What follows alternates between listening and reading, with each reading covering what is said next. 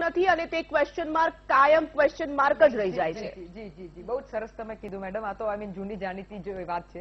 હજી જ્યુડિશિયરી ને વરસ ને હવે તો બહુ દૂરની વાત છે. હવે તપાસના આદેશ આપે એટલે હું એને પોઝિટિવલી લીધું કે એફઆઈઆર થઈને તો બેન. એફઆઈઆર નહીં થાય એ બી તમને કહી દઉં કે આ સંપ્રદાય બહુ પાવરફુલ સંપ્રદાય છે. પહેલો બીજો તમે એના જૂના બીજા બધા બી કેસીસ જોયા છે એમાં એક બચી ગયું છે. યા હવે કોમ્પ્રોમાઇઝ થઈ છે. આ કેસમાં બી બની શકે છે. કારણ કે એમાં આ જે ટ્રસ્ટી હતા એ ટ્રસ્ટીએ તો બહેનોને કહી દીધું હતું દીકરીઓને એમના પેરેન્ટ્સને જેને બી કે ભાઈ તમારે જે કરવું હોય કરી લો. અમારે અમને કોઈનાથી બીક નથી. અમે તમને ત્યાં તમે આઈધર નીકળી જાવ અમે તમને સ્કૂલમાંથી કાઢી મૂકશું. એ રીતે એ લોકો દબાવવાની કોશિશ કરી છે. એટલે. આઈ શ્યોર કે જે સી અલ્ટિમેટલી આજે બધા બિચારા પેરેન્ટ્સ હોય છે ગભરાઈને રહેતા હોય છે કે ભાઈ અમારી દીકરીનું શું અમારું નામ શું એઝ યુઝ્યુઅલ એ લોકોને પોતાનું ફેમિલી નામ તો પહેલું જ આવી જતું હોય.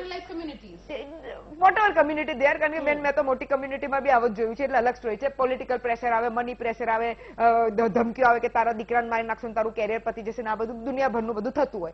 એટલે ઇમ્પોર્ટન્ટ અત્યારે એ છે કે આ જે એક્ઝામ્પલ હવે આ ફરીથી આપણે કેસ તો લઈએ કે અત્યારે તો થેન્ક્સ ટુ મીડિયા બધા બહેનોએ બધી આપણી બીજી આ બધી શું કે આપણી ઘરની સેવા વાળી બહેનોએ બી બધી પહોંચી ગઈ. ભાઈ સેવા વાળી બહેનોએ સરસ ફોટા પડાવી દીધા છે. થેન્ક યુ વેરી મચ પણ પછી શું?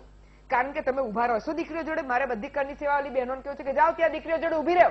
અને એ લોકોને એટલી હિંમત આપો કે કોઈ ભાઈ એ લોકોને ધમકી આપે, આ ટ્રસ્ટી ધમકી આપે, તો તમે ઊભા રહીને કહી શકો કે ના, અમે આ દીકરી જોડે ઊભા છીએ આ એ લોકો કોમ્પ્રોમાઇઝ ના કરે. મારા આ એક્સપેક્ટેશન આ કરની સેના જે બધા ફોટા પડાવવા આવી જાય છે. કારણ કે અલ્ટિમેટલી આજની તારીખમાં અગર તથસ્થ તપાસ કરવી હશે, તો છોકરીઓને હિંમત કરીને બોલવું પડશે. અને અત્યારે લકીલી એટલું તો થઈ ગયું છે કે પેલી કમિશને કીધું છે કે હા વાત સત્ય છે. પણ એના પછી શું? કઈ કઈ કલમો લાગશે પોસ્કોનું હજુ નામ નિશાન આવ્યું નથી કારણ કે પોસ્કોની કલમ સ્ટ્રોંગ હોય હવે જેને કલમો લગાડી છે બીજી દસ લગાડી શકે છે ને જેને નથી લગાડી કે इसमें क्या हुआ ये तो कोई कोई तो कोई गुनाह ही नहीं बनता है घनी बार तो कहते हैं, ये तो कोई गुनाह ही नहीं बनता है ठीक है अब करवा दिया तो क्या है ઘણી વાર એવા નફ્ફટ જેવા સ્ટેટમેન્ટ આવી કે કે રેપ થોડી ન ગયા था એટલે what I am trying to tell એના માટે યુ ત્રણસો છપ્પન પછી એમેન્ડમેન્ટ કરવામાં આવ્યું છે કે ભાઈ આ અ, તમને ખબર જ હશે અ, રૂઝાનબેન કે ત્રણસો છપ્પન એના માટે જ આ- આવ્યું હતું કે ભાઈ સેક્સ્યુઅલ હેરેસમેન્ટ થાય એના સંજોગોમાં એટલે what એટલે I'm એક આવી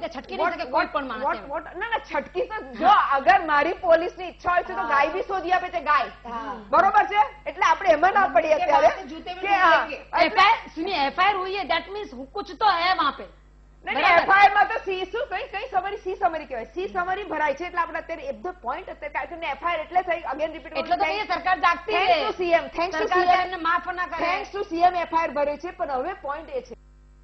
અમે આવા હાઈ પ્રોફાઇલ કેસીસ હોય છે. તો એ કઈ રીતે એ- લોકો કઈ રીતે તથસ્થ તપાસ કરશે અને કયા ગુના લગાડશે? કારણ કે ઘણીવાર કેસ વીક બનાવવામાં આવે છે અને જેમાં બધા જેને કે મેં કહું પોસ્કો તો બહુ સિરિયસ ગુના બને છે પોસ્કોમાં પણ. પણ વીક બનાવી અને એ લોકો એમાં એ કરી દેશે કે આખું ડાયલ્યુટ થઈ જાય મોટા ગુના ના બને. એટલે અત્યારે ઇમ્પોર્ટન્ટ છે બેન કે આપણે પાછળ પડીને એટલે તમારું મારું આપણે સોશિયલ સોસાયટીનું સિવિલ સોસાયટીનું કામ એ છે કે પાછળ પડીને એટલીસ્ટ આપણે દીકરીઓ ના અપાય ના તો આમ જેમ